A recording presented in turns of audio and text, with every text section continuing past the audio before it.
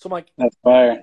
I like this. I like that you have the experience, right? So like me and Adam all the time, like he was in class early, we'd roll around, or it was kind of good sparring him, right? Because he's naturally left-handed and I'm right-handed. So like Right. I would like when we spar each other, I'd flip to be the same side. And he's like, "What are you doing?" Like, oh, I'm like, "No, you need to practice against somebody left-handed. I want to be left, right?" Right, right, yeah.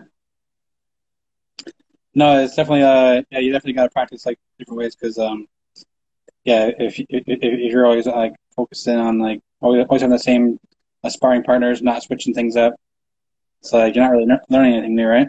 Yeah, that's the thing is too, right? Is like that's what I mean. Like me being an orthodox fighter, it was awesome to kind of learn like the left-handed stuff from Adam because then like if I was in a match and I accidentally got switched sides because I didn't land a kick or I was in the wrong stance, I felt comfortable. Like okay, well, like now I'm switching to the left side. Like I have to use my left cross instead of my right cross, and like all the learning stuff that came with it.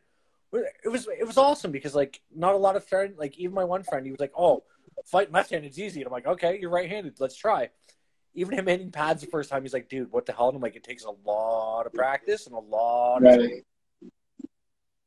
Right, like um, like I have like uh, me personally, I, I I've mastered the art of like um jerking off with my left hand now.